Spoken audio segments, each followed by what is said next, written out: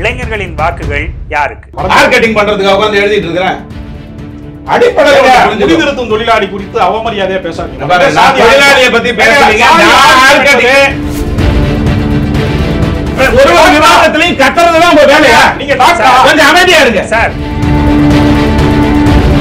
எதுக்கு அதை பேசுறீங்க? அறுபதாயிரம் பொண்டாட்டிக்கு சொல்லுங்க. எது அந்த பொண்டாட்டி எப்படி மெயின்டைன் பண்ணணும் ஏங்க சொல்லுங்க நானா போய் ரெஜிஸ்ட்ரேஷன் பண்ணேன். சார், நம்ம வெளிய register அப்புறம் நீங்க. ஷாஜகானுக்கு நீங்க நீங்க பண்ணீங்களா? தனித்தனியா நீங்க அந்த register பதினாலு பண்ணீங்களா? குழந்தை பிறக்கலையா அப்ப ராமர் பொய்யா. குஜராத்ல இருக்கு. பல. மாநிலங்களும் மது விலக்கு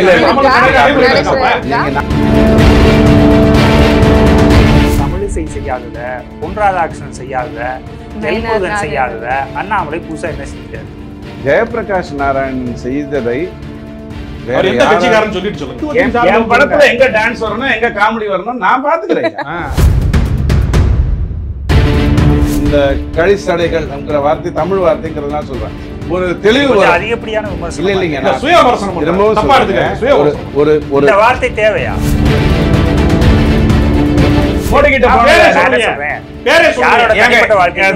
சொல்லுங்க. இருக்குன்னு சொன்னா மோடி யாரை நான் பத்தி சொல்லல. சொல்றாரு?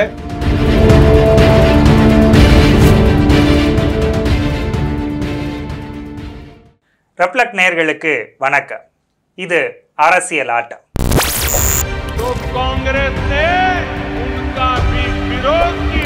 The BJP divide people. You make people fight. I will keep uniting people. இன்றைக்கு வெற்றிகளை போட்டுக் கொண்டிருக்கக்கூடிய அரசுதான் நம்முடைய திராவிட மாணவர் காரணம்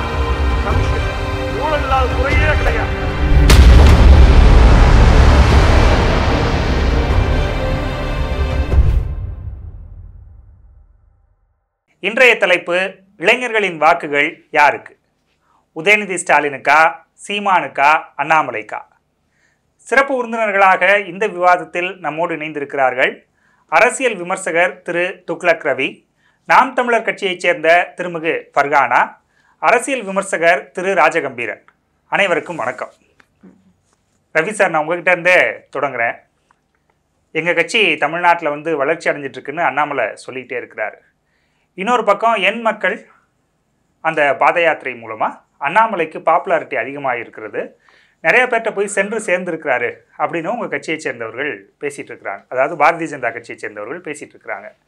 அடிப்படையில் இந்த இளைஞர்கள் அப்படின்னு சொல்கிறத கடந்த ஒரு முப்பது வருடமாக பார்த்துக்கோங்க. இன்றைக்கி இருக்கிற இளைஞர்கள்னு நம்ம சொல்லிக்க வேண்டாம்.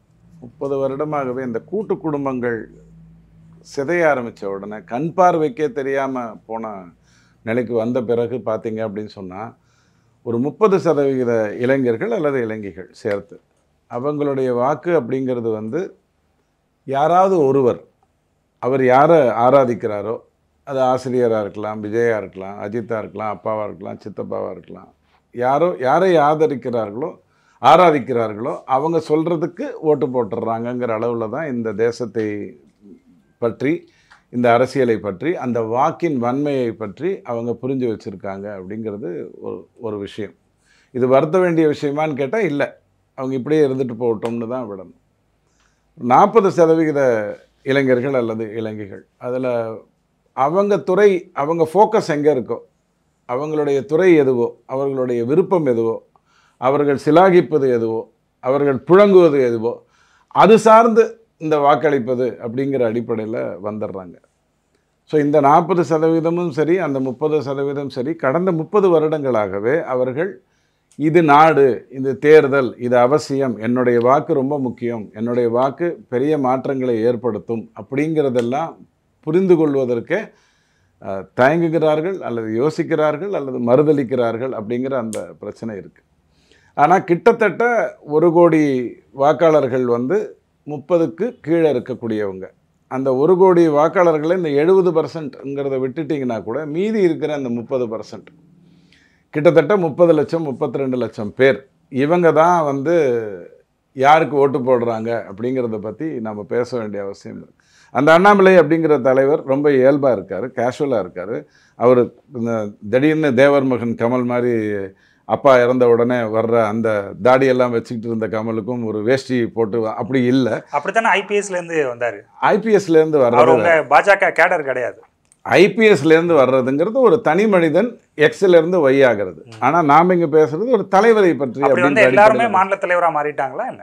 மாநில தலைவராக ஒரு தேசிய கட்சியில் வாங்க முடியாத வாங்க முடியாத அளவுக்கு கட்டமைப்பு இருக்குது எஸ்வி சேகருக்கெல்லாம் பதில் சொல்லணும். நீங்கள் யோசிச்சு பாருங்க எந்த புத்திசாலி இருக்கிறவனாவது எஸ்வி சேகருக்கு பதில் சொல்லுவானா?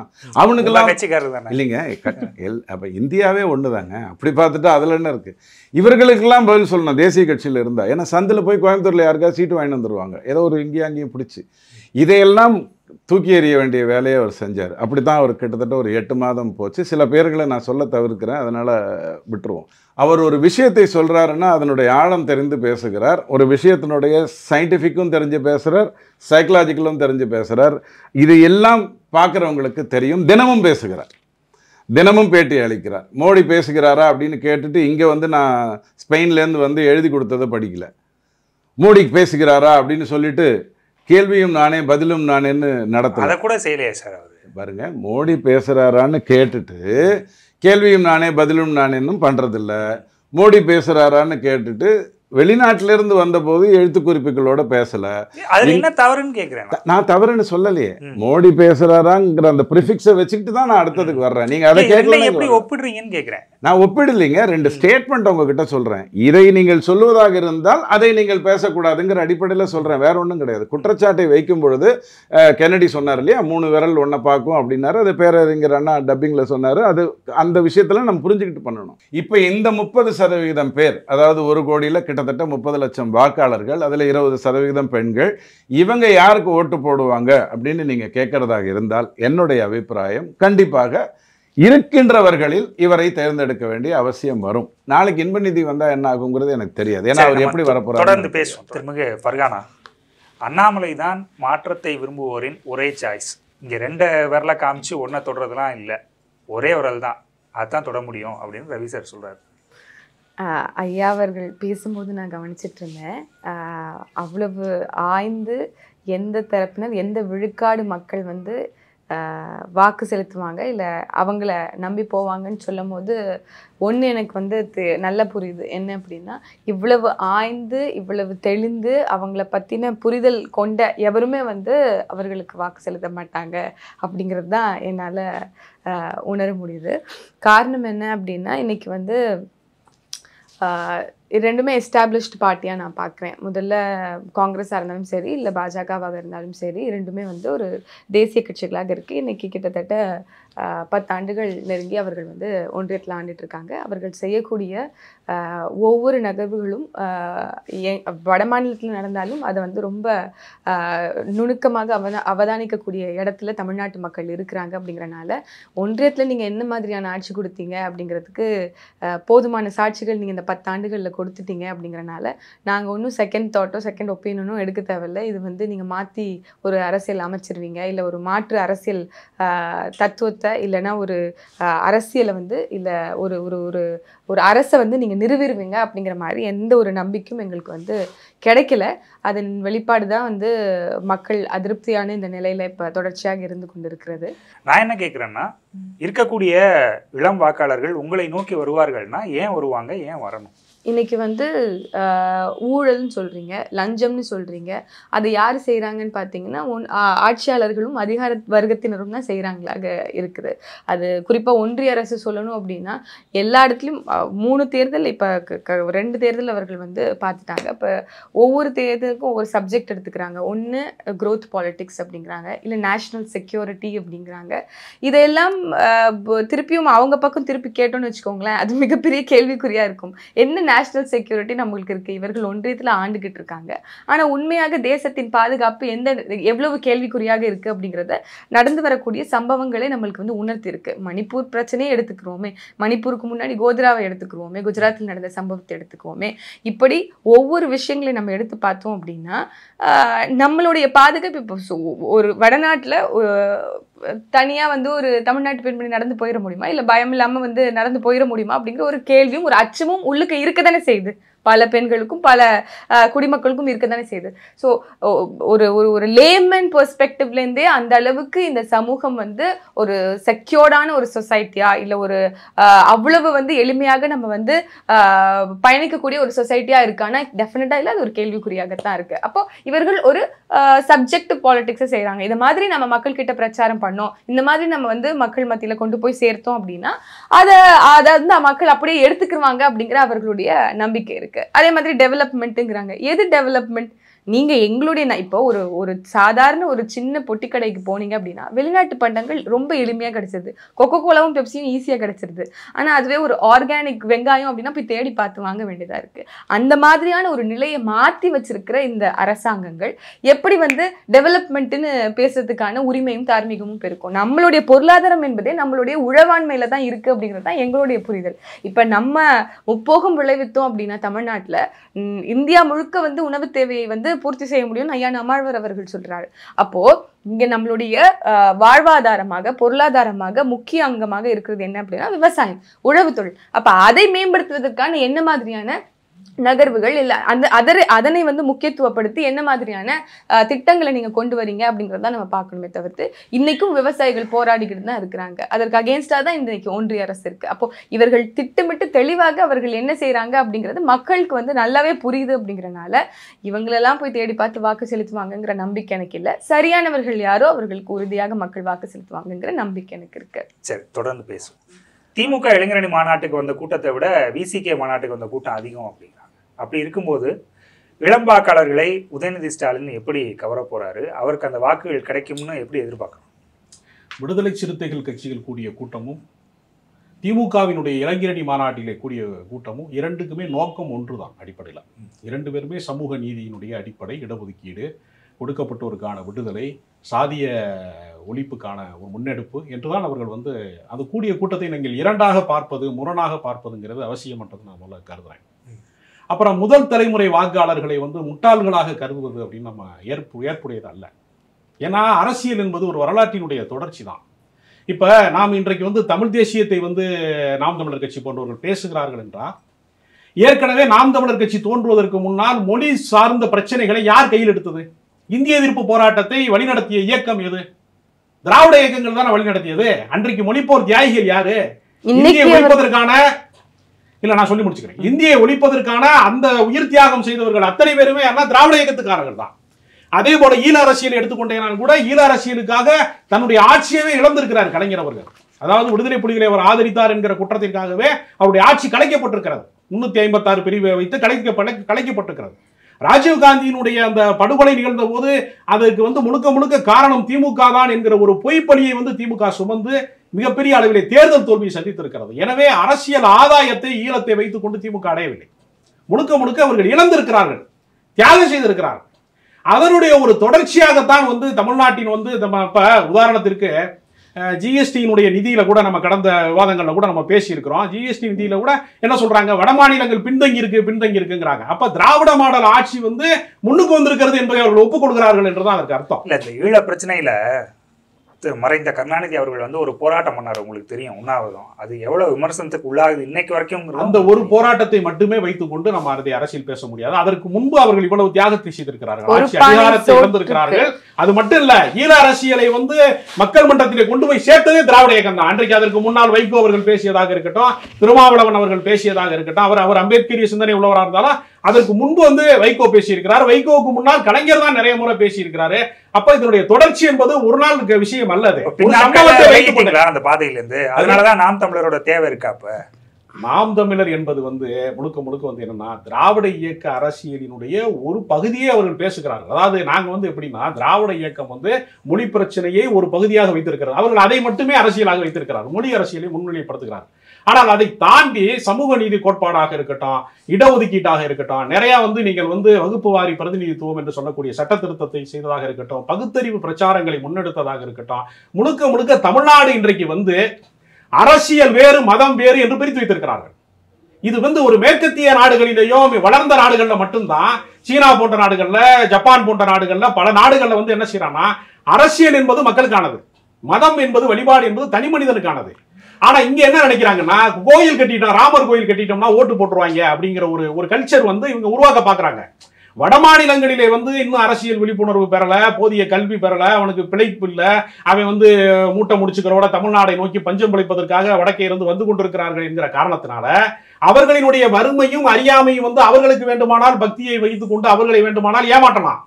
அதே போல இங்க இருக்கக்கூடிய சூழலை வந்து ஏமாற்றி விட முடியாது என்கிற காரணத்தினாலதான் அண்ணாமலை போன்றவர்கள் வந்து தேர்தலுக்கு நிற்கவே அச்சப்படுகிறார்களே. நாடாளுமன்ற தேர்தலில் இவ்வளவு பெருசா பிரம்மாண்டமா ஊதி பெருக்கிறாங்களே பாஜக காரங்க ஏன் தேர்தலில் நிற்பதற்கு அச்சப்படுகிறார்கள்? எல்முருகன் போய் ராஜ்யசபா எம்பியா ஏன் ஆகணும்? மக்களை சந்தித்து நான் வெற்றி பெறுவேன் அப்படிங்கிற நம்பிக்கை மூலம் தலைவர்களுக்கே கிடையாது.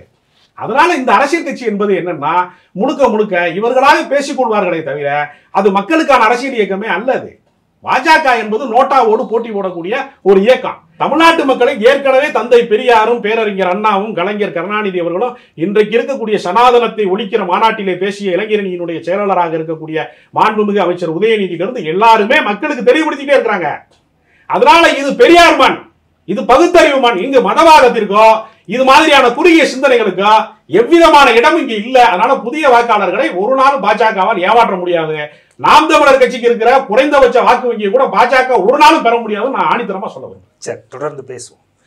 சார் இளம் வாக்காளர்களுக்கு விழிப்புணர்வு இருக்குது ஒருபோதும் பிஜேபி பக்கம் வரமாட்டாங்கிறார் ரொம்ப கரெக்ட். நான் சகோதரிக்கு முதல்ல பதில் சொல்லிடுறேன். சீமான் பொறுத்த வரைக்கும் ஏழரை சதவிகிதம்னு சொல்கிறது தவறு. ஏன்னா இரநூத்தி முப்பத்தி நாலு தொகுதியிலே நீங்கள் போட்டி போட்டு பத்தில் பத்தாயிரம் வாக்கு வாங்கினீங்கன்னா உங்கள் இருபத்தி மூணு லட்சம் வந்துடும் பாமக வந்து அதை நாற்பது தொகுதிகளில் போட்டி போட்டு இருபத்தி மூணு லட்சம் வரும். இதுக்கு சதவீதம் வேறு மாதிரி சொல்லுவீங்க. அது சதவீதத்தில் சொல்லக்கூடாது. வாக்கில் சொல்லணும். புள்ளிகளில் சொல்லணும். கூட்டணி என்று அமைக்காத வரை நாம் தமிழர் கட்சியில் எந்த பிரச்சனையும் வராது. இந்த பத்தாயிரம் பதினோராயிரம் ஆகி பன்னெண்டாயிரம் ஆகி ஏதோ ஒரு கட்டத்தில் ஒரு லட்சத்துக்கு வரும். கூட்டணியில் அமைச்ச மறு நிமிஷம் அது எல்லாமே இறங்கிடும். விஜயகாந்த் உங்கள் முன்னாடி அப்படி தான் இருந்தார் மற்றவங்க அப்படி தான் இருந்தாங்க. நாம் தமிழர் யோசிக்க வேண்டிய ஒரு பிரச்சனை தொண்டர் யோசிக்க வேண்டிய ஒரே ஒரு பிரச்சனை என்ன? ஏன் வேட்பாளர் ரிப்பீட் ஆக மாட்டேங்கிறாங்க? இரநூத்தி முப்பத்தி நாலு வேட்பாளர் நிறுத்துறீங்க நாற்பது வேட்பாளர் நிறுத்துறீங்க. ஏன் வேட்பாளரை உங்களால் ரிப்பீட் பண்ண முடியல? திரும்பவும் அவரை வேட்பாளராக மாற்ற முடியவில்லை. அப்படிங்கிறத தான் நாம் தமிழர் யோசிக்க வேண்டும். மற்றபடி அவங்களுடைய மொழி உணர்வோ அல்லது அவங்களுடைய தமிழ் தேசியமோ விமர்சிக்க வேண்டிய ஒரு விஷயம் இல்லை. கேளுங்க. திமுகல வந்து இவருக்கு தான் சீட்டு கொடுக்குறாங்க. அதுக்கடுத்து அவர் பையனுக்கு சீட்டு கொடுக்குறாங்கன்னு விமர்சனம் வைக்கிறீங்க.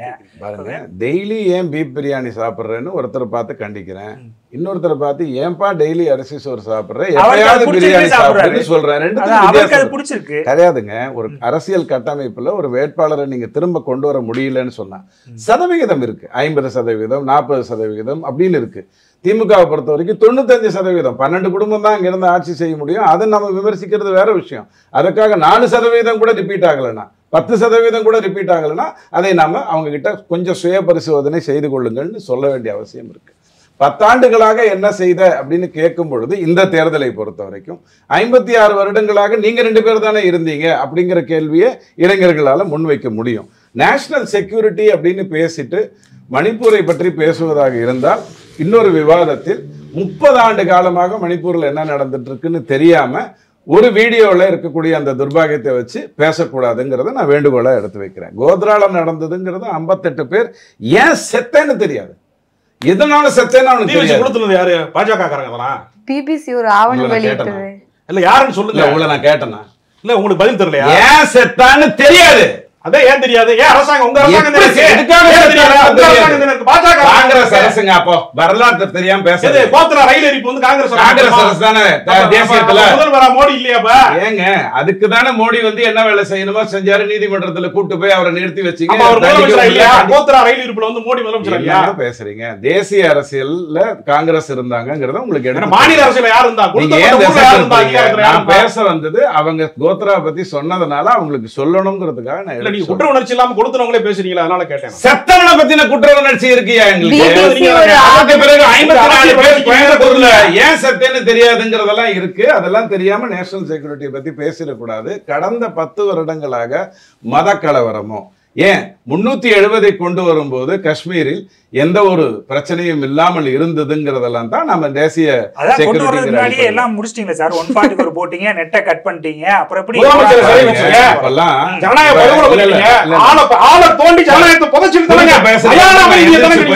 இவர் இவர் குறுக்கு சால் ஓட்டுறதுக்கு நான் இங்க உட்கார மாட்டேன். அவரோட நேரத்துல அவர் போகுது. உட்கார்ந்து எழுதி இருக்கேன்ல எதுக்கு எழுதி. மார்க்கெட்டிங் பண்றதுக்கு உட்கார்ந்து எழுதிட்டு இருக்கிறேன். அடிப்படையில தொழிலாளி குறித்து அவமரியாதையா பேசாதீங்க.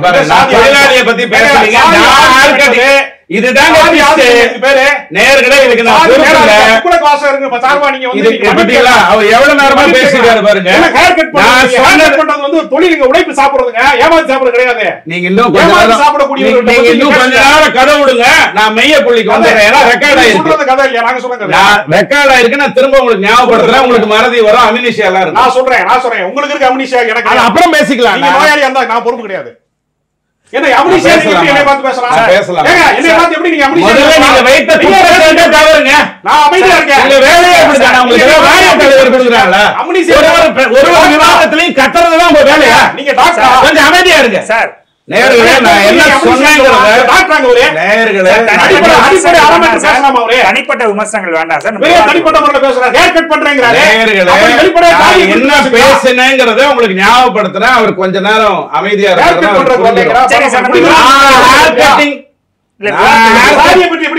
சார் கொஞ்சம் அமைதியா இருங்க சார். சரி நான் ஹேர் கட் பண்ணவா இங்க வந்திருக்கேன்னு சொன்னேனே ஒழிய என் ஹேர் கட் பண்றவரை பத்தி நான் பேசல முதல்ல அந்த வித்தியாசம்? ஆங்கிலம்ங்கிறதுனால கான்வென்ட் ஸ்கூல்ல படிச்சதுனால ஆங்கிலம் கொஞ்சம் சரி, சிரமமா. கரெக்டா. பேசிட்டா. இப்போ பாக்குறவங்களுக்கு அது புரிஞ்சிருக்கும். அடுத்தது கொக்கோ கோலாவை பற்றி நீங்கள் ஒரு விமர்சனம் வைத்தீங்க இல்லையா உங்களுக்கு சொல்றேன் இந்தியாவை பொறுத்த வரைக்கும் மொராஜி தேசாய் கொக்கோ கோலாவை தடுத்துட்டாரு வர முடியாதுன்ட்டாரு. உதாரணத்துக்கு இல்ல இல்ல சொல்றேன். இல்ல நீங்க சொன்னது நியாயமான வெளிநாட்டு. பொருட்கள் எல்லாம் ரொம்ப எளிமையா கிடைக்குது. உள்நாட்டுல விளையக்கூடிய ஒரு பொருளை நீங்க ரொம்ப தெளிவா சொன்னதுனால தான் நான் உங்களுக்கு பதில் சொல்றேன். ஏன்னா பதில் சொல்ல வேண்டிய பொறுப்பு இருக்கு. தெரிஞ்சதுனால சொல்றேன். தப்பு இருந்தா திருத்திக்க போறோம். கொக்கோ கோலாவை இந்தியாவுக்குள் கொண்டு வர முடியாது. உன்னுடைய ஃப்ளேவர்னா என்னன்னு சொல்லும் ஒரு இது ரெசிபியை சொல்லலைன்னு கொண்டு வர முடியாதுன்ட்டு தூக்கி போட்டாரு கிட்டத்தட்ட இருபத்தி ரெண்டு வருடங்கள் இந்தியாவில் வந்து கொக்கோ கோலா விற்பனைக்கு வரல. தம்ஸ் அப் வந்துருச்சு. அதுக்கப்புறம் தான் நம்ம மற்ற ப்ராடக்ட் எல்லாம் பார்த்தோம். ஒரு உதாரணத்துக்காக உங்களுக்கு சொல்றேன். அதாவது ஒரு தேசியத்தை வந்து ஒரு கரெக்டான ஆள்கிட்ட கொடுத்தோம் அப்படின்னு சொன்னால் அவர் எடுக்கிற முடிவுகள் அந்த அளவுக்கு தெளிவாக இருக்குங்கிறதுக்காக சொல்கிறேன் இந்திய எதிர்ப்பு போராட்டத்தை பற்றி ஈவே ராமசாமி ஐயா என்ன சொன்னாருங்கிறத நான் சொன்னேன் இல்லையா அந்த முப்பது பர்சன்ட்டுக்கு வரலாறு தெரியாதுங்கிறதுனால எது வேணாலும் கதவிட முடியும். ஈவே ராமசாமி ஐயா என்ன சொன்னாருங்கிறது தெரிஞ்சிருச்சுன்னா இந்திய எதிர்ப்பு போராட்டத்தை பற்றின விஷயங்கள் எல்லாருக்கும் தெரியும். அதுக்கப்புறம் ஈழப்போர். ஈழப்போருக்கு நீங்களே பதில் சொல்லிட்டீங்க. ஐயா எம்ஜிஆர் அவர்கள் ஈழத்துக்கு அதாவது பிரபாகரன் ஐயாவுக்கும் ஈழத்துக்காகவும் செய்ததை பற்றி இங்கே இருக்கிற எல்லாருக்கும் நல்லா தெரியும். டெசோவை வச்சு கதை விட்டது அதுக்கப்புறம் அதை பற்றி பேசியது அதிலிருந்து தான் வைகோ வெளில வந்தது அப்படிங்கிறதெல்லாம் வரலாறு. நான் சொன்ன மாதிரி இந்த முப்பது பர்சன்ட் இளைஞர்களுக்கு அது தெரியாது. தெரியாமல் இருந்தால் தப்பு இல்லை. இவங்கெல்லாம் இதெல்லாம் தெரிஞ்சுக்க வேண்டிய அவசியமே இல்லை அப்படிங்கிற அடிப்படையில் நான் சொல்லிடுறேன். ஆனால் அந்த ஒரு நாள் போராட்டம் நடந்தது இல்லையா? ஒரு குற்றச்சாட்டாகவே எடுத்து வைக்கிறேன். சார் ஒரு தவறு நடந்துருச்சு. தேசிய என்னோட அபிப்பிராயம். பிரபாகரன் அவர்கள் படுகொலை செய்யப்பட்டாருங்கிற தகவல் வந்துருச்சு.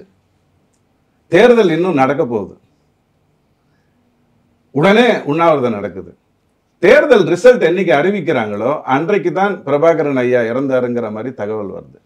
இது ரெண்டுத்துக்கும் நடுவில் நீங்க கனெக்ட் பண்ணிக்கோங்க. ஒரு தகவல் வந்துருச்சு ஆனால் இது தேர்தலுக்கு முன்னாடி. உடனே அது திசை திருப்பப்படுகிறது. போர் நிறுத்தணும் அப்படிங்கிற. உடனே சிதம்பரம் போரெல்லாம் நிறுத்திட்டாங்க. அப்படியா? இன்னும் போர்வெல்ல நிறுத்தின மாதிரி. நிறுத்திட்டாங்களா? உடனே கலைஞ்சிருச்சு. தேர்தல் ரிசல்ட் வர்ற அன்னைக்கு தான் இந்த செய்தியே வருகிறது. பிரபாகரன் ஐயா கொலை செய்யப்பட்டார் அல்லது தாக்கப்பட்டார் அப்படிங்கிற தகவல். இதெல்லாம் வரலாறு. இன்னைக்கு இருக்கிறவங்களுக்கு தெரியாமல் இருந்தாலே தப்பு கிடையாது. சோனியா காந்தி அம்மா ராஜ்யசபாவுக்கு போகிறதுக்கான அவசியம் என்னன்னு எனக்கு தெரியணும். திருநாவுக்கரசு ஐயா ஏன் ராஜ்யசபாவுக்கு போனாருன்னா காங்கிரஸ்ல இருந்து பிஜேபிக்கு வந்தார் பிஜேபி அதிமுகவுக்கு வந்தார். அவர் வேலை வேற. சோனியா காந்தி அம்மாவே ஏன் ராஜ்யசபாவுக்கு போறாங்க அப்படிங்கறத தான் நம்ம யோசிக்கணும். இவங்க போறது எல்முருகன் போறத பத்தி நம்ம கடந்த முறை அவங்க கண்டெஸ்ட் பண்ணி ஜெயிச்சாங்க சார். ஆமா. இந்த முறை உடல்நிலை கூட காரணமா இருக்கலாம். இது பாருங்க அதே பிரச்சனையில தான் இவர் வந்து ராகுல் காந்தி ஐயாவும். நீங்க இன்னும் முடிவு வரல. அவர் இப்போ எங்க போட்டி போட போறாருன்னு முடிவு வரல. பட் நல்ல வேலையா ஆப் வந்து ஒரு மூணு சீட்டு கொடுத்துருக்கு. அகிலேஷ் யாதவ் ஒரு பதினேழு சீட்டு கொடுத்துருக்காங்க. ஏதோ ஒரு புத்துணர்வு இந்த இந்தி கூட்டணிக்குள்ள வர்றதுக்கான வாய்ப்புகள் இருக்கு. வந்தா நல்லதுன்னு தான் நான் சொல்லுவேன். நானூறு இடங்களில் ஒற்றை வேட்பாளர்களை நீங்க நிறுத்தினீங்கன்னா அப்பதான் ஜெயிக்கிறது ஈஸி அதே நாலு பேரை நிறுத்தினீங்கன்னா நானூறு தொகுதிகளிலும் ஜெயிப்பது? பிஜேபி ஜெயிப்பதற்கு ஈஸி காரணம் உங்களுக்கு நான் ஏற்கனவே ஒரு பேட்டியில. குறைச்சு மதிப்பிடுறீங்களா? குறைச்சு நான்? மதிப்பிடலைங்க. உங்களுக்கு ஒரு சின்ன விஷயம் சொல்றேன். ரொம்ப நேரம் இதுக்கு நான் எடுத்துக்க விரும்பல. ஐநூத்தி நாற்பத்தி மூணு சீட் இல்லையா? இருநூறு சீட்டில் இதுவரைக்கும் கடந்த மூன்று தேர்தல்களாக பிஜேபி ஜெயிக்கவே இல்லை. இருநூறு தொகுதிகளில் கடந்த மூன்று தேர்தல்களாக இருநூத்தி ரெண்டாயிரத்தி ஒம்பது பதினாலு பத்தொம்போது ஜெயிக்கவே இல்லை. அப்போ ஜெயிச்சதெல்லாம் எதில்? முந்நூற்றி நாற்பத்தி மூணுல. அந்த ஃபிகரை மைண்டில் வச்சுக்கோங்க. முந்நூற்றி நாற்பத்தி மூணில் ரெண்டாயிரத்தி பதினாலில் பொறுத்த வரைக்கும் இரநூத்தி எண்பத்தி ரெண்டு சீட்டு ஜெயிக்கிறாங்க. அதுல இருநூத்தி நாற்பத்தி எட்டு சீட்டை திரும்ப ஜெயிக்கிறாங்க. ரெண்டாயிரத்தி பத்தொன்பதுல அவங்க அவங்க ட்ராக் ரெக்கார்டு தெரியாம நம்ம பேசிடக்கூடாது அதாவது ஏதோ வருவாங்க ராமர் கோயில் கட்டுவாங்க ஓட்டு கேட்பாங்கன்னு நினைக்கிறதா இருந்ததுன்னா இந்த இரநூறு தொகுதிகளில் தான் இப்போ அவங்க ஃபோக்கஸ் பண்ணுறாங்க ஏற்கனவே முந்நூற்றி நாற்பத்தி மூணில் அவங்க ட்ராக் ரெக்கார்டு நல்லா இருக்கு. அதனால தான் இரநூத்தி இருபத்தி ஆறு தொகுதிகளில் ஐம்பது சதவீதத்துக்கு மேலே வாக்கு வாங்கியிருக்காங்க ரெண்டாயிரத்தி பத்தொம்போதில் இதையெல்லாம் தெரியாமல் குறைச்சி மதிப்பிடாதீங்க அப்படின்னு நான் சொல்கிறேன் இப்போ இந்த இரநூறை கான்சென்ட்ரேட் பண்ணணும்னா சவுத்துக்குள்ளே தான் வந்தாகணும். சவுத்தை பொறுத்த வரைக்கும் இன்னைக்கு சந்திரபாபு நாயுடு என்ன பண்ணுவாருன்றது எல்லாருக்கும் தெரியும். ஜெகன்மோகன் ரெட்டி என்ன பண்ணுவாருன்னு எல்லாருக்கும் தெரியும். டிஎஸ்ஆரை பொறுத்த வரைக்கும் தெலுங்கானால என்ன பண்ணுவாங்கங்கிறது எல்லாருக்கும் தெரியும். அந்த இடத்துல. ஆனால் தமிழகத்தில் மட்டும் ரொம்ப தெள்ள தெளிவாக நிறைய பல்லக்கு தூக்கிகளோடு ஒரு விஷயம் நடந்துகிட்டு இருக்குது. ஆறு தொகுதி அஞ்சு தொகுதி ரெண்டு தொகுதி சின்னத்தில் நிற்கணும் சின்னத்தில் நிற்காமல் நிற்கணும் அப்படிங்கிற மாதிரி எல்லாம் போயிட்டுருக்கு இந்த இடத்தில் இந்த முப்பது பர்சன்ட் இளைஞர்களுக்கு. இவ்வளவு நேரம் நான் விளக்கம் கொடுத்தேனே அது சகோதரி கேட்டதுக்காக சில விளக்கங்களும் இவர் சொன்னதுனால சில விளக்கம் கொடுத்தன ஒழிய இன்றைக்கு இருக்கக்கூடிய இளைஞர்களுக்கு இதெல்லாம் தெரியணுங்கிற அவசியமே இல்லை. கடந்த முப்பது வருடங்களா அது தெரியாமையும் இருக்கிறதுங்கிறது தான் உண்மை. இல்லைன்னா யுனெஸ்கோ விருது பெற்றார் ஈவே ராமசாமி ஐயான்னு சொன்னீங்கன்னு வச்சுக்கோங்க. இவன் போய் கூகுளில் சர்ச் பண்ணுவான். கூகுளில் சர்ச் பண்ணால் பொய் சொன்னால் தெரிஞ்சிடும் இல்லையா? அதுலலாம் பிரச்சனை வரும். அதனால் அதெல்லாம் விட்டுட்டு நேராக இளைஞர்களுக்கு பாருங்கள் இளைஞரை பொறுத்த வரைக்கும் இவனை மதம் கொண்டு பேச வைக்க முடியாது. இவனுக்கு சாதியை பேச வைக்க முடியாது. இவனுக்கு ரத்தத்தின் ரத்தம் எல்லாம் ஒரே நிறம்னு கதையெல்லாம் விட முடியாது. ஏன்னா இவனுக்கு ஏ குரூப்னா என்ன வி குரூப்னா என்ன ரெண்டையும் கலந்தா எப்படி செத்து போயிடுவான் மனுஷங்கிறதெல்லாம் நல்லா தெரியும். அதனால இவனிடம் ரத்தம் ஒரே நிறமும் பேச முடியாது மதமும் பேச முடியாது. பேசினா பேச்சில் ஒரு தெளிவு இருக்கணும். ஆழம் இருக்கணும். அந்த சப்ஜெக்ட்ல ரொம்ப தெள்ள தெளிவா இருக்கணும். இது எல்லாம் இறைவன் உங்களுக்கு ஐபிஎஸ் மூலமாக ஒரு ஒரு போராட்ட குணம் உள்ள ஒரு மனிதர் மூலமாக உங்க முன்னாடி கொண்டு வந்து நிறுத்தியிருக்கான். ஏற்பதும் மறுதளிப்பதும் உங்களுடைய ஒரே சாய்ஸ் புறந்தள்ள முடியாது. மற்ற தேசிய கட்சிகளில் பண்ண மாதிரி இதுக்கு முன்னாடி பண்ண மாதிரி நீங்க புறந்தள்ளிட முடியாது. அதுதான் நம்ம முக்கியமா பேசணும். ஏன் நீ வந்து தேர்தலில் நிக்கல? ஏன் நீ வந்து ஒரு தேர்தலில் நிக்க மாட்டேங்கிற அப்படின்னா நான் நல்லா இருக்கணும்னு நினைச்சா உடனே சீட்டு வாங்குவேன். உடனே சீட்டு வாங்குவேன். நாடு நல்லா இருக்கணும்னு நினைச்சா நாற்பது பேரை நான் உருவாக்கணும் அப்படின்னு நான் இறங்குவேன். இதுதான் முக்கியமான ஒரு பிரச்சனை. ராமதாஸ் ஐயாட்ட போய் நம்ம கேட்க முடியுமா? ஏன் நீ நிக்கிறேன்னு? அவருக்கு தெளிவான ஒரு போக்கு இருக்கு. ஆரம்பிக்கும் போதே சொல்லிட்டாரு சார் நான் நிக்க மாட்டேன்னு. வேற அதோட நிறுத்தினாரா? ஒரு சவுக்கு எடுத்து வச்சாரா? என்ன பாத்தீங்களா அனாவசியமா இளைஞர்களுக்கு நீங்க தேவையில்லாத தகவல் எல்லாம் கொடுக்க விரும்புறீங்க. பாமக நல்ல கட்சிங்கிறதோட மாநில. தலைவர் வந்து போட்டிட்டாரா இல்லையா? எங்க எங்கே போட்டிட்டாரு போன எலெக்ஷன்ல போட்டிடல அதைத்தான் நான் உங்களுக்கு சொல்றேன். இவர் தானே சொன்னாரு ஏன் போட்டியிட மாட்டேங்கிறாருன்னு இவர் தான் கேட்டாரு. நான் என்ன சொன்னேன்? அவர் மாநில தலைவராக போட்டியிடல. நல்லா புரிஞ்சுக்கோங்க. ஒரு கட்சிக்குள் வந்த ஒரு நிலையில் போட்டி போட்டாரு. இன்னைக்கு அவருடைய நோக்கம் வேற விதமாக இருந்தால் அதுல எந்த தப்பும் கிடையாது. மோடி அவர்களால் தமிழ்நாட்டில் போட்டியிட முடியும் அப்படிங்கிற அளவுக்கு அவருக்கு தைரியம் வளர்ந்துருக்கு. முன்னாடி அதெல்லாம் பேசவே முடியாது. அந்த மாதிரிலாம் இருக்கவே மாட்டாங்க. அலகாபாத்தில் துரத்தி அடிக்கப்பட்ட பிறகு இந்திரா காந்தி அம்மையார் வந்து இங்க சவுத்துல நிக்க வேண்டிய சூழ்நிலை வந்தது. நம்ம ராகுல் ஐயாவுக்கு ரெண்டு தலைமுறையை தாண்டி இங்க வடநாட்டில் நிக்க வேண்டிய அவசியம் வருது. இதெல்லாம் அவங்களுக்கு நிர்பந்தம். நமக்கு அந்த கஷ்டம்லாம் கிடையவே கிடையாது. எங்க வேணாலும் போட்டி போடலாங்கிற அளவுக்கு தெளிவா இருக்கு. ஆக இந்த இளைஞர்களை பொறுத்த வரைக்கும் புராணங்களை சரித்திரங்களை வரலாறுகளை பேசுவதா இருந்தால் முழுசா பேசுங்க. நல்ல நோக்கம் உங்களுக்கு இருந்தா. இல்லைன்னா பேசாதீங்க விட்டுருங்க. அவனுக்கு இது தேவையே கிடையாது. அவனுக்கு தேவை எல்லாமே என்னன்னா நேர்மை அப்படிங்கிறது அவனுக்கு. உண்மையே சொல்றேங்க இருபத்தைந்து முப்பது வயது வரைக்கும் இருக்கக்கூடிய அத்தனை இளைஞர்களுக்கும் ஹானஸ்டிங்கிறது உங்க பாடி லாங்குவேஜ் வச்சே தெரிஞ்சிடும் கோர்ட்ல எல்லாம் போய் ப்ரூவ் பண்ணிட்டுலாம் வரணுங்கிற அவசியம்லாம் கிடையாது. உங்க பாடி லாங்குவேஜ் வச்சு அவன் ஈஸியா புரிஞ்சுட்டுருவான் அந்த வகையில் தான் இந்த இயல்பான மனிதர் முன்னாடி நிற்கிறார் சீமான் ஐயாவுக்கும் நான் தெளிவா சொல்றேன். அவர் செய்கின்ற ஒரே ஒரு தவறு என்னை பொறுத்த வரைக்கும் இந்த வேட்பாளர்களை அறிமுகப்படுத்துவதோடு நிறுத்தி கொள்ளாமல் பிறகு ரிசல்ட் இப்ப ஈரோடு கிழக்கு எடுத்துக்கோங்க. சுத்தி அடிச்சு இருபத்தஞ்சு நாள் அங்க வந்து அவரு ப- பிரச்சாரங்களை செய்தார். அங்க இருக்கக்கூடிய மாணவர்களுடைய வீடியோஸ் எல்லாம் வந்தது. எங்களுக்கு சீமான் தான் வரணும் அப்படின்லாம் வந்தது. கரெக்டா கேம்பெயினிங் எல்லாம் ஒழுங்கா நடந்தது. ஆனால் பத்தாயிரத்துக்கு மேல நீங்க ஏன் வாங்க முடியல அப்படின்னு சொன்னா மூளை செலவை அப்படிங்கறதுல வேணும் முதல்ல மூளை செலவை வேணும். எனக்கு வாய்ப்பாடு எப்படி கத்து கொடுத்தாங்க? பதினொன்னு பதினொன்னு ஒண்ணு. பதினொன்னு ரெண்டு இருபத்தி ரெண்டு அப்படிதானே சொல்லி கொடுத்தாங்க. அப்படிதான் சொல்லி கொடுக்கணும். ஆனா அதுக்கு அடுத்த ஸ்டேஜுக்கு வந்துடணும் இந்த மூளை செலவையிலிருந்து வெளில வரணும். அதை அவர் செய்தால் உண்மையிலேயே அன்பு அன்பு அன்புமணி அவர்கள் உதயநிதி அவர்கள் அண்ணாமலை அவர்கள் சீமான் அவர்கள்னு இந்த கட்டமைப்பு அப்படியே மாறும். இந்த மூணு பேரும் அதை செய்யாமல் இருக்காங்க. இவர் அதை தெளிவாக செய்கிறார். அதனால தான் இளைஞர்களுடைய வாக்கு இங்க போகும். இது பிரெயின் வாஷ் பண்றாரா? மூளை செலவைங்கிறது வந்து தவறான நோக்கத்துல செய்யணுங்கிற அவசியம் இல்லைங்க. நல்லா புரிஞ்சுக்கோங்க. நீங்க இல்ல, இருட்டிலேயே கருத்துக்களை கொண்டு சேர்க்கறதுன்னு கேள்விப்பட்டிருக்கேன் நானு. நீங்க பிரெயின் வாஷ் நான் சொல்றேன். ஏன் தெரியுமா? பிரெயின் வாஷ்னா நீங்க இன்ஜெக்ட் பண்றது. ஒரே வரியில சொல்றேன். சகோதரி ஆன்சர் பண்ணட்டும். சிம்பிளா முடிஞ்சிடும் இது வரைக்கும் சீமானவர்கள் பேசிய எந்த ஒரு பேச்சிலாவது கன்ஸ்ட்ரக்டிவா இதற்கு இதுதான் தீர்வு அப்படின்னு ஏதாவது ஒரு விஷயத்துக்கு. இது தப்பு அது சரியில்லை இது மோசம் இது கேவலம் அப்படின்னு சொல்லக்கூடிய அந்த ஆண்மையும் அந்த தைரியமும் சீமான் ஐயா- கிட்ட நீங்க பார்க்கலாம். ஆனால் இந்த விஷயத்துக்கு இதுதான் தீர்வு. இந்த விஷயத்துக்கு இதுதான் மாற்று அப்படிங்கிற ஒரு அடிப்படையில இல்லாமல் இதெல்லாம் ஒழிஞ்சிச்சு நான் வந்தா சரி பண்ணிடுவேன் நான் வந்தா சரி பண்ணிடுவேன்னா விஜயும் அதே தான் சொல்ல போறாரு. நான் வந்தா சரி. சோ எனக்கு ஒண்ணு சொல்ல சொல்லுங்க. ஏன்னா கண்டிப்பா இவங்க சீமான் ஐயாவோட பேட்டியை நிறைய பார்த்திருப்பாங்க நானும் பார்த்திருக்கேன். நிறைய பேர்களோட பார்த்திருக்கேன். ஒரு இடத்துலயாவது கன்ஸ்ட்ரக்டிவா இதுக்கு இதுதான் தீர்வு அப்படிங்கிறத சொல்லியிருந்தாருன்னா நான் ஏத்துக்கொள்வேன். சரி கேட்டுரும் சீமான் வந்து தீர்வே சொல்லல.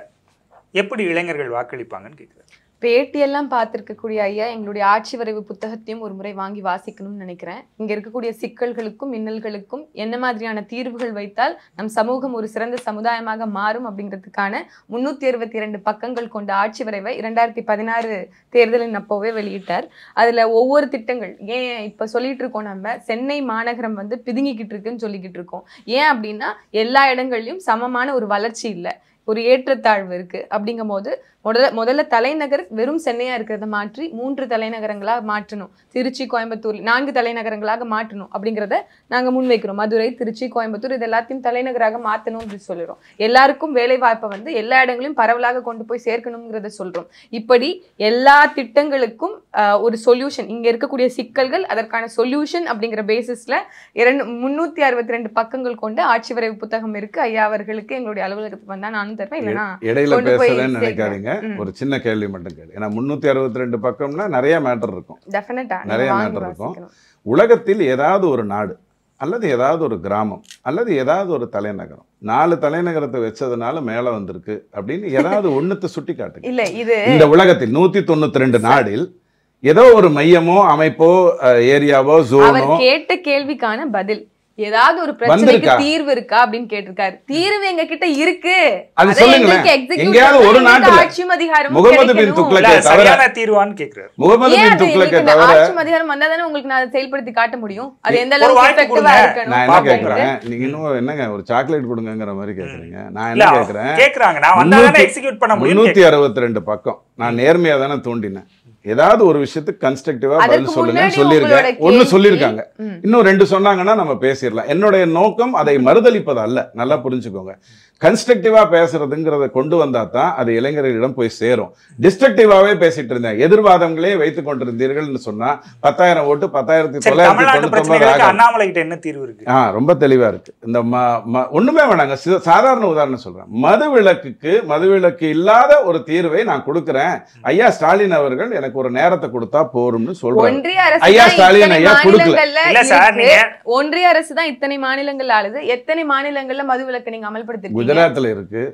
உங்களுக்கு நல்லா ஆனா தெரியும் குஜராத் வளர்ந்த இல்ல, மாநிலம் ஏன் பச்சை கம்பளி போட்டு இல்ல, இல்ல, நான். வந்தாங்கன்னா போத்தி வைக்கிறீங்க இல்ல, ஏதாவது ஒரு சிக்கல் அங்கேயும் இல்ல இருக்கு நீங்க எங்க இருந்து எங்க அரசாக இருக்குது ஆனா பல பாஜக இல்ல, எல்லா இல்ல. மாநிலங்களும் மது விலக்கு இல்ல, இல்ல, இல்ல, இல்ல. இல்ல. நீங்க நான் வந்து? நான் வந்து என்ன கேட்டேன் உங்களை உலகத்தில் ஏதாவது ஒரு நாடோ கிராமமோ நாலு தலைநகரம் இருக்கிற மாதிரி இருந்தா காட்டுங்கன்னு சொன்னேன் நீங்க ஒண்ணு கேட்ட உடனே நான் குஜராத்னு ஏன் சொல்றேன் அப்படின்னு சொன்னா குஜராத்தோடைய இயல்பு. அது மற்ற எல்லா இடத்துலையும் வர முடியாது. மதுவிலக்குங்கிறது பிரச்சனை இல்லைங்க. இப்போ கூட அண்ணாமலை வந்து மதுவிலக்கை ப- பிரதானப்படுத்தி பேசலை. கல்லை கொண்டு வந்துடுவேன்னு தான் தெளிவாக சொல்கிறாரு கள்ளச்சாராயத்தை ஒழிப்பது தான் உங்களுடைய நோக்கமாக இருக்கணும். நீங்கள் தீர்வுன்னு சொன்னதுனால நான் அதுக்குள்ளே வந்தேன். மதுவிலக்கு ஒழிக்கப்பட வேண்டும் அப்படின்னு சொன்னா கல்லு கொண்டு வாங்க. எவ்வளவு நாளா பண்ண முடியுமே? விவசாயத்தை பத்தி பேசுனாங்க. நீங்க தான் அது பேசுறீங்கன்னு எங்களுடைய. திட்டம் தான் அதுதான் நீங்க நல்லா கரெக்டா சொல்லிக்கிட்டு இருக்கீங்க. பாருங்க நீங்க அதற்கு பதிலா கொண்டு வரணும். அது மாதிரி சொல்யூஷன்ஸ் எக்கச்சக்கம் இருக்கு. அவர் ஒரு வாதம் வைக்கணுங்கிறதுக்காகவே நீங்க வாதம் நான் வைத்ததாக சொல்லட்டுமா நான் சொல்லட்டுமா. ஒண்ணுமே வேண்டாங்க. தன்னுடைய கூட்டங்களில். நீங்க இன்னொன்னு சொன்னீங்க. இப்போ எந்த ஒரு பண பின்புலமும் இல்லாமல் தான் இதெல்லாம் நடக்குது அப்படின்னு சொன்னீங்க. ரொம்ப கஷ்டம். நான் திரும்பவும் சொல்றேன். ஒரு அரசியல்ல நாலு இடத்துக்கு போய் பணமே இல்லாமல் பண்றதுங்கிறது ரொம்ப கஷ்டம். ஒன்றா உண்டி இருக்கணும் இல்லைன்னா வெளிநாட்டிலேருந்து வரணும். இப்படிலாம் பிரச்சனைகள் இருக்கு. இல்ல இல்ல வரணும். வேற வழியே கிடையாது. இல்லைனா எப்படி நடத்துறது? கூட்டங்கள் எப்படி நடத்துறது? அடிப்படையில் சீமான் ஐயா ஒரே ஒரு ஷேப்பின் ஷேப் அவுட் பண்ணிக்கணும். இன்னைக்கு நான் வரைக்கும் நல்லா வந்துட்டேன். என்கிட்ட இளைஞர்கள் இத்தனை பேர் இருக்காங்க. என் நான் பேசும்போது கேட்குறாங்க சந்தோஷம்.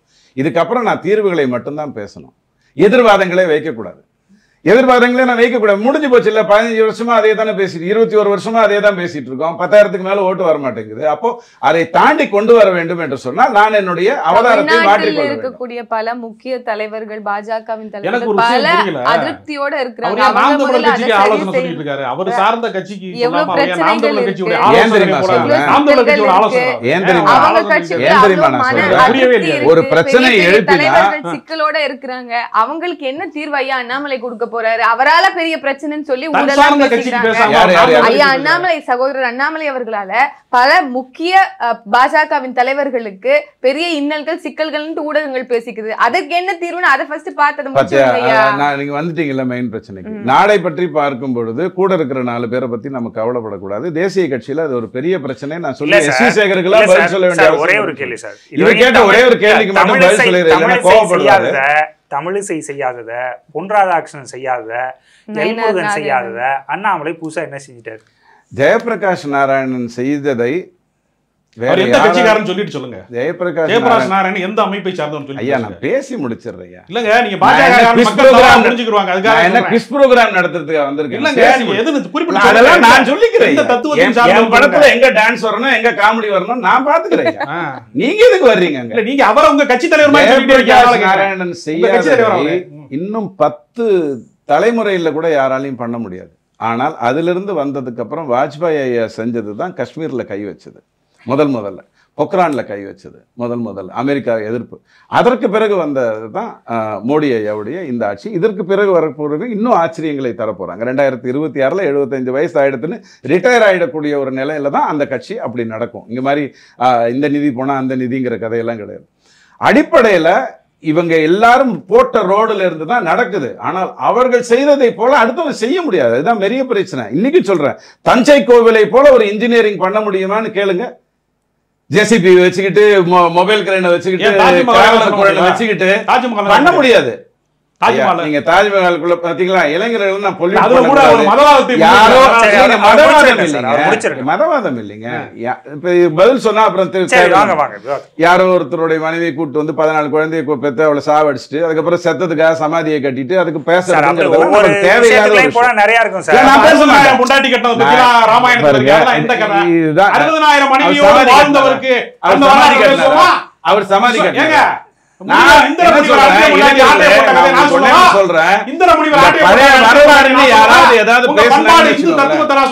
முன்னாடி ஏதாவது ஒரு தகவலை வந்து கதையை சொன்னா கேவலமா இருக்குமே.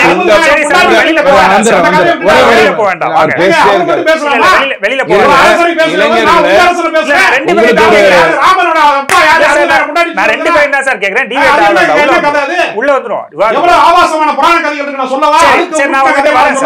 இளைஞர்களே ஒரே- ஒரே சின்ன பொறுப்பு சொல்லிடுறேன். ஏன்னா இவருடைய. வேலையை கல்லெறிஞ்சா பரவாயில்ல நீங்க எதுக்கு அதை பேசுறீங்க அறுபதாயிரம் பொண்டாட்டிக்கு சொல்லுங்க எது அந்த பொண்டாட்டி எப்படி மெயின்டைன் பண்ணணும் சொல்லுங்க நானா போய் ரிஜிஸ்ட்ரேஷன் பண்ணேன் ஆ? சார், நம்ம நானா வெளியில போறோம் register- சார். ம- marriage register அப்புறம் நீங்க.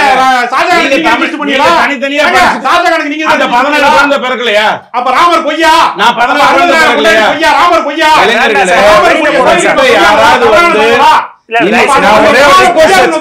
ஒரே வச்சுக்கிறேன். ரிக்வஸ்ட். வச்சுக்கிறேன். எனக்கு பேர் மாத்திட்டுலாம் நான் என் மதத்தை மறைச்சு என் குலத்தை மறைச்சு என் த- மொழியை மறைச்சு வரலாற்றை மறைச்சு பண்ணணுங்கிற அவசியம் எல்லாம் கிடையாது. உங்ககிட்ட யாராவது ஒரு தகவல் சொன்னாங்கன்னா அது எப்ப நடந்துச்சு அப்படின்னு கேளுங்க. ரொம்ப பழசா இருந்தா எக்ஸ்பைரியில விட்டுருங்க. ஏன்னா இப்படித்தான் குழப்பிட்டே இருப்பாங்க. டைரக்டா மேட்டருக்கு வந்துடலாம். இப்ப நீங்க கேள்வி வாங்க சார். அண்ணாமலை என்ன புதுசா சொல்றாரு? அவர் பின்னாடி ஏன் இளைஞர்கள் வரணும்னு மூன்று காரணங்களை மட்டும் சொல்லிட்டு நான் நிறைவேற்றிக்கிறேன் அதாவது கரப்ஷன் அப்படிங்கிறது வந்து எவ்வளவு பெரிய மோசமான ஒரு விஷயம் அப்படிங்கிறத எடுத்து வைக்கிறார். ஆனால் கரப்ஷனை தாண்டி மக்கள் ஓட்டு போட்டுட்டு இருக்காங்கங்கிறது உண்மை. அதை அவர் புரிஞ்சு வச்சிருக்கார். ரெண்டாவது அவர் தெள்ள தெளிவாக சொல்றது அறநிலையத்துறை அப்படிங்கிறது என்னுடைய பாரம்பரியத்தை என்னுடைய கலாச்சாரத்தை என்னுடைய பின் நான் வந்த பாதையை மறுதலிக்க செய்கிறது. அதை வந்த உடனே நான் ஒழிப்பேன்னு உங்ககிட்ட சொல்கிறார் மூணாவது அவர் பேசுறது எல்லாமே வளர்ச்சி திட்டங்கள். இன்னைக்கு நாடு ஐந்தாவது இடத்தில் இருக்கிறது. இது மூன்றாவது இடத்துக்கு போகணும்னா இந்தந்த மாதிரியான விஷயங்களை பண்ணணும். இப்போ இவ்வளோ நாளாக சொல்லிட்டு இருந்தாங்களே எழுபத்தஞ்சு பர்சன்ட் வீடு கட்டும்போது ஆஹ், அது தமிழக அரசு தான் கொடுக்குது அப்படிங்கிறத சொன்னாங்க இல்லையா? அவர் இல்லை அப்படிங்கிறத மறுதளிக்கிறார். கட்டமைப்புகளுக்கு பதில் சொல்லி கொண்டே வருகிறார். ஒரு கட்டத்தில் அவர் என்ன புரிஞ்சுக்கிறாருன்னா கட்டமைப்புகளுக்கு பதில் சொல்லிட்டா தப்பாயிடும். எல்லா மெட்ராஸ்லயும் ஒரு கீழ்ப்பாக்கு இருக்கும். அதனால நாம அதை தாண்டி வந்துடணும்னு சொல்லி அதற்கப்புறம் கன்ஸ்ட்ரக்ஷனுக்குள்ளே போகிறார் சீமன் ஐயா விஷயத்துல நான் சொன்னது என்னன்னா கட்டமைப்புகளுக்கு பதில் சொல்லிக்கிட்டே வந்தீங்க அப்படின்னு சொன்னா உங்களை கீழ்ப்பாக்கில் உட்கார வச்சிருவாங்க. நீங்க அதுல இருந்து தாண்டி வந்துடணும் இவங்க எப்படியும் இப்படிதான் இருப்பாங்க. நாம போய் அடுத்தது கன்ஸ்ட்ரக்டிவா பேசணும்னு வரணும். அந்த ஆங்கிள் தான் அன்புமணியும் இவரு அன்புமணி ராமதாசும் தெள்ள தெளிவா வராரு. ஆனால் அவருக்கும் என்ன பிரச்சனை? உறுதியாயிருச்சா? இல்லைங்க உறுதியா இல்ல. சொல்ல நான் எழுதி வச்சுக்கோங்க. பாமக அதிமுகவிடம் போவதுதான் பிஜேபிக்கு நல்லது. நான் இப்பவே சொல்றேன்? இந்த கூட்டணி எல்லாம் தேவையே இல்லை. எதுக்கு தெரியுமா? மறைமுகமா பேச்சுவார்த்தை நடத்துறதா தகவல் இருக்கு வேண்டாங்கிறீங்க எப்ப பேச்சுவார்த்தை மறைமுகமா நடக்குதோ அதை நம்ம மறுக்கவே ஒத்துக்கவே கூடாது. அதை பேசவே கூடாது. ஏன் மறைமுகமா நடக்குது? நடந்தா ஓப்பனா நடந்துட்டு போக வேண்டியதானே அதனால நம்ம அதை பத்தி கவலைப்படக்கூடாது. அடிப்படையில பாமகவோ தேமுதிகவோ அதிமுகவுடன் கூட்டணி அமைத்தால் நல்லது. இந்த திராவிட கட்சிகள் மொத்தமுமே பிஜேபி கால் ஒன்று எடுத்துங்கிற பொசிஷனுக்கு போய் கால்வாசிக்கு வந்து விட்டதுங்கிறது புரிஞ்சுட்டு போய் பாச்சால வர்ற ரஜினி மாதிரி காலை தூக்கி நெஞ்சில வைக்க போகுதுங்கிற அளவுக்கு புரிஞ்சுக்கிட்டதுனால இவங்க எல்லாரும் ஒன்றாக இருக்காங்க இல்லையா? அப்படியே இருந்துட்டு போகட்டும்னு தான் நம்ம சொல்ல போறோம். ஏன்னா வாக்காளர் சட்டமன்ற தேர்தல்ல. ரெண்டு புள்ளி ஆறு பர்சன்ட் வாக்கு வாங்கியிருக்கிறீங்க. எதை வச்சு சொல்றீங்க? இப்ப புள்ளி ஒருத்த வச்சு தான் சொல்றேன். அதான் அந்த சதவிகிதம் சொல்லும்போது நீங்க ஒண்ணு புரிஞ்சுக்கோங்க. நான் ஐ திங்க் ஒரு உதாரணம் கொடுத்தேன்னு நினைக்கிறேன் திரும்ப கொடுக்குறேன். நான் இவர் வந்து தொண்ணூத்தெட்டு மார்க் வாங்குறவர். தொண்ணூத்தி எட்டரை வாங்கியிருக்காரு. நான் முப்பது மார்க் வாங்குறவன். நாற்பது வாங்கியிருக்கேன். நீங்க என்ன சொல்வீங்க? நான் முப்பத்தி மூணு பர்சன்ட் வளர்ச்சி. இல்ல சார் இவருக்கு என்ன சொல்றீங்க? நாலு சதவீத இல்லையாங்கிறதுக்கு வளர்ச்சி. நான் வரல. அப்படி அந்த சொல்லுங்க. விவாதத்துக்கு நான் வரல. வரலையா? நான் கேக்குறது என்னன்னா பாஷா ரஜினி மாதிரி அடிக்க போகுதுன்னு சொல்றீங்களே திமுக முப்பத்தேழு புள்ளி ஏழு சதவீதம் வாக்கு வாங்கியிருக்கு. எத்தனை தொகுதிகள்ல நின்று? நூத்தி எண்பத்தெட்டு தொகுதியில கண்டஸ்ட் பண்ணாங்க. இப்ப பாஜக சரி அப்ப நீங்க தனியா இருநூத்தி முப்பத்தி நாலு நின்றுக்கலாமே. அடுத்த இதுதான் கேள்வி நீங்க புரிஞ்சுக்கோங்க. இருநூத்தி முப்பத்தி நாலு சரி அப்படின்னா இந்த ரெண்டு புள்ளி ஆறுல அதிமுகவோட வாக்கெல்லாம் இல்லையா? இல்ல நான் அப்படி சொல்லவே கூட்டணி கட்சியோட வாக்கு இருக்குல்ல. அப்ப அதை கழிச்சுட்டா பாஜகவோட படம் இன்னும் குறைஞ்சிருக்கு இல்ல இல்ல இப்ப கேள்வி வேற விதமா போயிடுச்சு. பாஜகவின் வாக்கு சதவிகிதம் எத்தனை அப்படின்னு சொல்றதா இருந்தா முதல்ல வாக்குகள் எத்தனைன்னு தான் நம்ம பார்க்கணும் மொழிய சதவிகிதம் பார்க்க இல்ல என்னோட ரொம்ப சிம்பிளான கேள்வி சார். இந்த நம்பர் வித்தியாசம் இவ்வளோ இருக்குது. எப்படி பாச்சா ரஜினி மாதிரி அடிக்கிறது இந்த தேர்தல்? ஆ ரொம்ப சிம்பிள் அதாவது வந்து தமிழகத்தை பொறுத்த வரைக்கும் நாற்பத்தி ரெண்டு சதவீத வாக்குகள் திமுகவிடம் இருக்கிறது. இருபத்தொன்னு ப்ளஸ் ஆறு ப்ளஸ் பதினஞ்சு. இருபத்தி ஒன்று சொந்த வாக்கு ஆறு பர்சன்ட் கூட்டணி கட்சிகளால் வருவது. பதினைந்து நீங்கள் சிறுபான்மையின் என்று அழைக்கின்ற இஸ்லாம் சகோதரர்களும் கிறிஸ்தவ சகோதரர்களும் கொடுக்கின்ற வாக்கு. அதிமுக அதை எடுத்துக்கிட்டிங்கன்னா அவங்களது முப்பத்தி மூணு சதவீத வாக்கு. ஸோ நாற்பத்தி ரெண்டு முப்பத்தி மூணு எழுபத்தஞ்சு போனால் மீதி இருபத்தைந்து சதவீதத்தான் இன்னைக்கு வந்து நடுநிலையாளர்கள் அப்படின்ற அடிப்படையில் நீங்கள் கொடுப்பாங்கன்னு சொல்லுவீங்க. அது யாருக்கு போக முடியும்? சீமான் ஐயாவுக்கு போகலாம் அல்லது அண்ணாமலை ஐயாவுக்கு வரலாம். இவ்வளவுதானே. ஆனால் இந்த நாற்பத்தி ரெண்டு முப்பத்தி மூணுக்குள்ளே ஒரு சின்ன வேலை இருக்குது திமுகவின் எதிர்வாக்கு அதிமுகவுக்கும் அதிமுக எதிர்வாக்கு திமுகவுக்கும் போயிட்டு இருக்கு இப்ப பந்து அப்படி போக போறது இல்லை இதுதான் டைவர்ட் ஆகி வெளில போகுது. ரெண்டு இடத்துல இருந்தும் ஆறு ஆறு சதவிகிதம் என்னோட அபிப்பிராயத்துல. குறிப்பா திமுகவை பொறுத்த வரைக்கும் இஸ்லா சகோதரர்களும் கிறிஸ்தவ சகோதரர்களும் இந்த ஊழல் அப்படிங்கிறத அவங்க ஏற்கவே மாட்டாங்க. ஏன்னா அவங்களுடைய மத நம்பிக்கையே வேற. அவங்களுக்கு வந்து குற்றம்னா என்னன்னு தெரியும். அந் அவங்க தான் வெளில வர போறாங்க. குறிப்பா இஸ்லா சகோதரிகள் ட்ரிபிள் ட்ரிபிள் தலாக் மூலமாகவும் இது மூலமாகவும் யூனிஃபார்ம் சிவில் கோடு மூலமாகவும் அவங்களுடைய இதுல இருந்து வெளில வர போறாங்க. அப்படி வரும்பொழுது தான் இந்த சதவிகிதம். காலில் போய் வைக்கிறதுங்கிறது மரியாதை குறைவா பண்றது இல்ல அவன் பொய் சொல்றான் அவன் பாட்சா ரஜினி மாதிரி அடிக்கிறதுங்கிறது வந்து மறுதலி இது மரியாதை கெடுத்து பண்றது இல்ல நீ பொய் சொல்ற நான் அவனை அடிக்கணும். அந்த. கேரக்டர் தான் சார் கேரக்டர் தான் நான் சொல்றேன். அந்த வகையில தான் இந்த சதவீதம் வரப்போகுது. எப்போதுமே ரெண்டு தொகுதி மட்டும் இருந்த பாஜகவால் இன்னைக்கு முன்னூத்தி மூணுக்குள்ள வர முடியும் அப்படின்னா ஒரு காலகட்டம் இந்தியா பூரா இந்தியா பூரா நடந்தது. வெறும் தமிழகத்தில் மட்டும் இல்லை ஆனால் தமிழகத்தில் அதை செய்வதற்கு ரொம்ப நேரம் ஆகாது. அதாவது ஒரு வேர்ல்டு கப் மேட்ச்ல இருபது ரன் அடிக்கிறதுங்கிறதுக்கு எத்தனையோ நாள் நாட்களாகலாம் பிராக்டிஸ் தேவைப்படலாம். ரஞ்சி டிராஃபியில் என்ன பண்ணணுங்கிறது எல்லாருக்கும் தெரியும். இந்த வகையில் தமிழ்நாட்டை பொறுத்த வரைக்கும் இந்த வாக்கு சதவிகிதம் உங்களுக்கு நல்ல செய்திகளை சொல்ல போகுது. சரி. அது உறுதியாக இளைஞர்கள் மூலமாக ஒரு டிரான்சிஷன் பெண்கள் மூலமாக ஒரு டிரான்சிஷன் வரப்போகுது. அதனால தான் விஜய் ஐயா கூட ரெண்டாயிரத்தி நான் இருபத்தி நாலில் நான் வரல இருபத்தி ஆறில் வரேன்னு சொல்றதுக்கான காரணம் இந்த கிளச்சஸ் இந்த கழிச்சடைகள்ங்கிற வார்த்தை தமிழ் வார்த்தைங்கிறதுனால சொல்றேன். இந்த குப்பைகளை எல்லாம் நீக்கிட்டு ஒரு தெளிவு அதிகப்படியான இல்ல விமர்சனம் இல்லைங்க இல்ல, நான் சுய விமர்சனம் பண்றாரு. திரும்பவும் தப்பா சொல்றேங்க. எடுத்துக்காதீங்க. சுய ஒரு. ஒரு வார்த்தை தேவையா? இல்லைங்க. தமிழ்நாட்டில் இருக்க மத தேர்தல்ல இருக்கக்கூடிய கிளச்சஸ்ன்னு சொன்னா கழிசடைனா உடனே ஒரு மனிதனை தப்பா எடுத்துக்காதீங்க. தேர்தல்ல இருக்கக்கூடிய இந்த தேவையற்றன்னு சொல்லுங்க. இந்த கா- தேவையற்ற நல்ல வார்த்தைங்க. தேவையற்ற விஷயங்கள் எல்லாம் நீக்கிட்டதுக்கு அப்புறம் தான் இந்த அடுத்தது அவர் வரப்போறாரு. அதுக்கப்புறம் அரசியல் களம் வேற விதமா மாறப்போகுது. சரி நான் அதை உங்களோட இறுதி கருத்தை எடுத்துக்கிறேன். சார் உதயநிதி மேலே தொடர்ச்சியாக வாரிசு அரசியல் அப்படிங்கிறத குற்றச்சாட்டு வைக்கப்படுது. இப்போ பத்தாக்குறைக்கு இன்ப நிதி வரை வந்துட்டாருன்னு சொல்கிறாங்க இப்படி ஒரு மன்னராட்சி முறை மாதிரி இருக்கக்கூடிய திமுகவுக்கு இளைஞர்கள் வாக்களிப்பார்களா அப்படிங்கிறதான் பெரிய கேள்வி விமர்சனம். உங்கள் பற்றி இப்ப அண்ணாமலையை நேரடியா தலைவரா நியமிச்சாங்கல்ல. ம். அது மாதிரி வந்து ஸ்டா உதயநிதி ஸ்டாலினை வந்து வந்து நேரடியா வந்து நியமிக்கல. இன்னொன்று புரிஞ்சுக்கோங்க. நேரடியா கட்சி தலைவரெல்லாம் யாரும் நியமிக்கல. ம். அவருக்கு சட்டமன்றத்தில் ஒரு வாய்ப்பு கொடுக்குறாங்க. அவர் மக்கள் ஓட்டு போட்டு தானே ஜெயிக்கிறாரு. அவர் தொகுதியில வந்து மக்கள் ஓட்டு போட்டு ஜெயிக்கிறாரா. இல்ல அவர் வந்து நியமனமா ஏதாவது பண்ணிருக்காங்களா? நியமன எம்பி மாதிரி எதுவும் பண்ணிருக்காங்களா? அந்த எல்முருகன் பண்ண மாதிரி நியமன எம்பியா பண்ணிருக்காங்களா? நியமன தலைவரா அண்ணாமலை மாதிரி பண்ணிருக்காங்களா? அப்படி கிடையாது. இல்லை திமுகலே ராஜ்யசபா நம்ம அந்த திமுகவுல. திமுகவுல வாரிசு அரசியல் இருப்பதை திமுக காரங்க ஏற்றுக்கொண்டாங்க ஒண்ணு. ம். கட்சிக்காரங்க ஏத்துக்கிட்டாங்க. யாரும் மறுப்பு தெரிவிக்கல. மாற்று கட்சி கொண்டவர்கள் தான் அதை விமர்சிக்கிறாங்களே தவிர திமுகவினர் யாராவது விமர்சிக்கிறார்களா? உதயநிதி தலைவரா பொதுமக்களின்? பார்வையில கேட்கிறேன் பொதுமக்களின் பார்வையில பொதுமக்களின் கேட்கிறேன். பார்வையில இளம் பொதுமக்கள் ஓட்டு பார்வையில அப்ப ஓட்டு போட்டா என்ன அர்த்தம்? மக்கள் ஏற்றுக்கொள்றாங்கன்னு அர்த்தம்? அப்ப மோடிக்கு தான் ரெண்டு தேர்தல்ல ஓட்டு போட்டிருக்காங்க. அது ஓட்டு விமர்சிக்கிறீங்க. போட்டா நான் தமிழ்நாட்டு அரசியல் மாநில அரசியல் பேசும்போது மாநில அரசியல் பேசுங்க. ஒன்றிய அரசியல் பேசும்போது அது பேசுங்க. அந்த கம்பேரிசன் இது தேவையற்றது. அது. நான் என்ன சொல்றேன்னா இப்ப பாஜகவில் இருக்கக்கூடிய பல பேர் தங்களுடைய வாரிசுகளை வந்து தேர்தலில் நிறுத்திருக்காங்கல்ல எடியூரப்பாலாம் யாரு? நீங்க பல கணக்கு இருக்கு. எல்லா இடத்துலயும் குடும்பம் இல்லைன்னா அதுக்கு நம்ம என்ன பண்ண முடியும்? சில பேருக்கு குடும்பம் இல்ல பாஜக தலைவர்களுக்கு. அறுபதாயிரம்? குடும்பம் இருந்தாலும் திட்டுறீங்க. குடும்பம் இல்லைனாலும் குடும்பம் இல்ல அதனால உங்களுக்கு வாரிசு இல்ல. வாரிசு இருந்தா உங்களுடைய அது எம்ஜிஆருக்கு வந்து குழந்தை இல்ல புள்ள இல்ல அதனால அவர் வாரிசு வராம போயிட்டாங்க. ஒவ்வொருத்தருக்கும் வாரிசு இருக்கிறவங்க அண்ணாதுரைக்கு சோ இந்த வாரிசு என்ன அண்ணாதுரை? ஐயாக்கு நீங்க மனைவியை கை ஈவே கொடுத்தீங்க ராமசாமி ஐயாவுக்கு ஆமாங்க அவருடைய அவருடைய இந்த இளைஞர்களே இதுக்கு தான் நான் வந்து இது பேசினா பழசெல்லாம் ரொம்ப கேவலமா இருக்கும். தந்தை சரி, யாரோ பெரியாரை வந்து தனிப்பட்ட நம்ம. போக வேண்டாம். இப்ப போன மோடிக்கு போனது யாரு?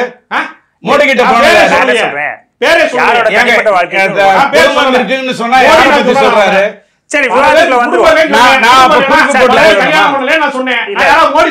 தனி மனித தனி மனித விமர்சனங்கள்.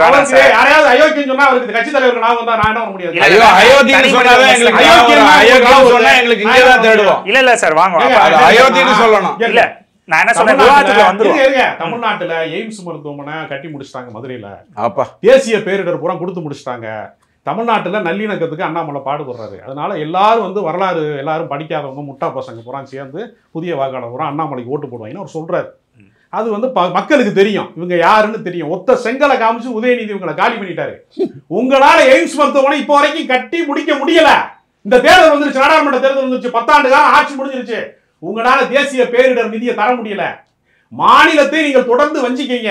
மாநிலத்துக்கு மெட்ரோ ரயில் விரிவாக்க திட்டத்துக்கு வந்து ஏற்பாடு செய்கிற போது அதற்கான நிதியை நீங்க தர மறுக்கிறீங்க. மாநில அரசே அதனுடைய மொத்த செலவையும் ஏற்கும்படியான சூழ்நிலையில ஒரு மிக மோசமான இக்கட்டான நிதி நெருக்கடிக்கு ஆளாக்குறீங்க. இல்ல நம்ம அரசியல் வந்துருவோம் இருங்க அதெல்லாம் நலன்களை திராவிட முன்னேற்ற கழகம் பாதுகாக்கிறது. அதனால திமுகவிற்கான வாக்கு வங்கி வலிமையாக இருக்கிறது. இவர்கள்லாம் காற்றோடு கத்தி சண்டை போடுறது மாதிரி கற்பனையான அரசியலை பேசிக் இல்ல, கொண்டிருக்கிறார்கள். திமுக வாக்கு வங்கியை தாண்டி வெளிவாக்கு வருமாங்கிறதான் கேள்வி. என்ன வெளிவாக்குனா வெளிவாக்குனா என்ன? மிச்சம் இருக்கவங்க சார். உங்க வாக்கு வங்கி முப்பத்தாறு சதவீதம்? இப்ப இளம் வாக்காளர்கள் அஞ்சு லட்சம் பேர் வர்றாங்க. அல்லது வந்து மொத்தம் ஆறு கோடி பேர் இளம் வாக்காளர்கள் அத்தனை? பேருமே இளம் வாக்காளர்கள் அத்தனை பேருமே இப்ப நான் வந்து யாரு? என்னுடைய தகப்பனுடைய தொடர்ச்சி. எங்க அப்பா திராவிட இயக்க சிந்தனையாளர் இருக்காங்கன்னா நான் அதனுடைய தொடர்ச்சி தான். எத்தனையோ பேர் இடதுசாரி சிந்தனையாளர்கள் இருக்கிறாங்க. விசிகால அம்பேத்கரிய சிந்தனையாளர்கள் இருக்கிறாங்க.